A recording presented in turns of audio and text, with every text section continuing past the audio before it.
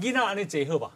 这个哦，是很多小朋友的坐姿，因为呃这样子的坐姿啊，我相信许多家长都看过。那他们为什么喜欢这样子做？是呃一个是因为他们这样做的时候，他前面没有障碍物。如果说他是盘腿的时候，那个腿在旁边很干扰，所以他们就是发展出这样子的坐姿哦。一方面是方便，然后再来是小朋友那时候韧稳，很稳，对。然后韧带那时候比较比较这个比较松软一点，就不会像大人，大人要这样做很辛苦哈。但是小朋友喜欢这样做，可是这样做会，他就呃像一个 W 一样，所以我们叫它 W 型坐姿。那这个坐姿呢，它会衍生出的问题，就是会让它的韧带在这个地方有过多的拉扯，就是像我们这边有一个膝盖哦，等于你在旁边这些韧带，你在弯曲的时候，因为是个大扭转，这旁边的韧带都会去扭转到，对，所以扭转完了之后，它的这个。脚的那个位置就会有点变形，嗯，所以就是呃，其实会看呃一些代偿的反应，就比赛弯嘛，没有办法弯，它只能往这边，对对对，它是往侧的，也是往侧的，就是往外对往外弯，对，所以就会有像这样子的问题，对，那所以这是不好的。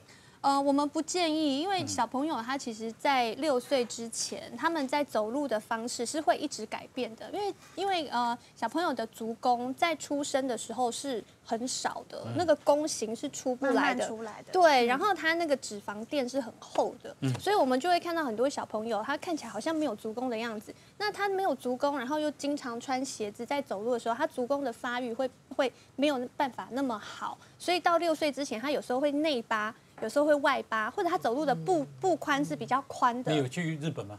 没有，没有哦哦哦！你说日本的日本的女生哦，对很多那个很多那个是叫内八吧？那个是内八，他们的那个走路因为跪坐太久。哎吼，嗯，那个我们照理说鞋子对不对是这样子走嘛哈？嗯，对，他的鞋子都这样子，对，然后他们会打架，会打架，会打架，对，他们的脚会打架。为什么哈？呃，我我认为是他们的跪坐时间太久了，因为像这样子的姿势哦，我们看这个是 W，其实它只是合并一点点而已。日本人他只是合并一点点，可是他的旁边这个地方的一些拉力是非常强的，那时间又久。因为像这样子做啊，如果像小朋友如果做三十分钟以内，我不会禁止他啦。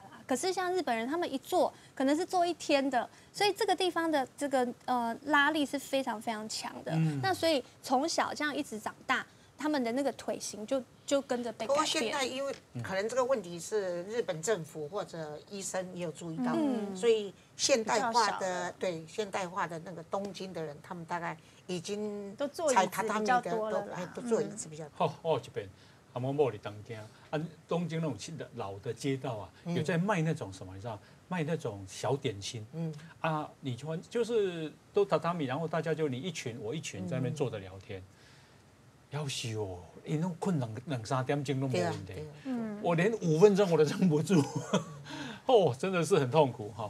好，那黄医师还包括这个是是要干嘛？对，这是一些居家运动，就是我们其实这次希望说能够呃透过书教大家一些在家里面就可以做的运动。那像刚刚就提到很多，不管是政治人物还是现在呃现代人，基本上花时间运动哦，真的是要。把时间拉出来才可以。那我们就是希望说，大家能够尽量就是好好在家里面做一些简单的运动。那刚刚提到，就是经常会有一些步态问题的腹肌跟臀肌，是我们首先要去训练的。所以像这个就是臀大肌，很多人不知道臀大肌在哪。好，这边有一张图，好，就是在臀部这个地方非常大的这个肌肉。这是屁股。这是屁股，对。然后臀大肌这么大，然后到旁边接到那个阔筋膜张肌，然后往下到膝盖。好，那这个。臀大肌有一些状况的时候，它其实会出现很多步态的问题，哈，包括你可能会挺着肚子走路，你走路会很拖，然后骨会骨盆后倾，然后甚至骨盆旋转等等，哈。那所以我们做的动作啊，就是这个非常简单，因为这个我们这次会觉得说有很多可能长辈哈在做运动的时候他们都不太想，所以我们就找很简单的运动，好，就是侧边这样子，呃，稍微趴坐着，然后呢脚往上抬。就是这样子而已，哦，非常的简易。挺酷啊，嗯，你也想说看电视，想要看娃娃，想说嗯，对，啊，对，就是这个时候，然后你就稍微抬起来，会觉得说在上面的那个这边的臀部会有一些用力，对，有些紧紧的，哎，这样子其实就够了。我们就从很简单、很简单的运动开始。好，那其实我警告你吼，有有当时啊，迄个长辈啊，七八十岁啊，每天固定走一万步，安尼好往好不好，不好啊？哎，为什么？为什么不好？哎，因为呃，这个膝盖里面有一些半月状软骨，还有一些筋膜。嗯。然后等到他再踩一步踏一步，好像那个海绵哈，它会脱水吸水，脱水吸水。嗯。那那一直走一直走，会造成累积性的伤害。伤伤害哪里？伤害到呃软骨、韧带，还有一些呃作壁。吸哦。哎，对。哦。啊，所以所以建议是哈。就是每走呃十分钟或二十分钟就要休息一下。哦，那样。不要不要一次走一次走一万。就马总统做做爱慢跑，他是慢跑。呃，慢跑也是不错运动。我讲所有运动里面最好的运动是瑜伽跟太极，这是一级的 A 级运动。嗯。然后慢跑骑脚踏车是 B 级的。嘿。然后呃，什么是低级的？C 级的就是呃网球、羽毛球、篮球。因为为什么这个是 C 级？因为它都说是用右右边或是用左边单侧运动。嗯，哎，这这种是属于 C 级的。哎，啊啊，D 级的话就是用激烈性的，比如说像塔咕噜啦，什么那种足球啦，或者是什么那那种是低级的。